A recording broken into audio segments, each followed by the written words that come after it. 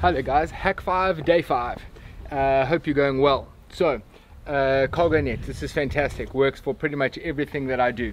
Uh, I put blankets up here, I put pillows up here instead of leaving them in the rooftop tent. Also because I don't stay in the rooftop tent. Uh, I do not like drilling holes into my vehicles, so I use things like the handle grips and uh, all that other stuff uh, around.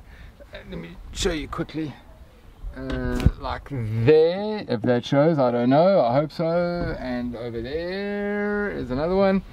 So let's see if this shows my face again. Um, do not get the elasticated ones. Everything bounced off. Uh, it's not cool when you hit the dirt road and uh, half your stuff is falling out the side. So uh, cargo nets are very cool. Uh, they're strong. And this one I can literally take off and put in another vehicle if I need to